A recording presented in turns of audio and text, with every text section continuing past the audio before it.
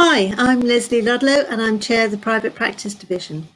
Just a quick message to tell you about the upcoming Private Practice Division conference, which this year is online and takes place on Saturday, the 26th of September. The theme this year is on communication. Can you understand me? In therapy, there is rarely one size that fits all.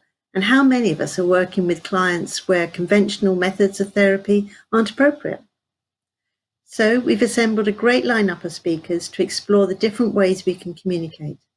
And after all, the year 2020 has had us all finding different ways of communicating. So this conference we feel is more relevant than ever. So the date again is Saturday, the 26th of September.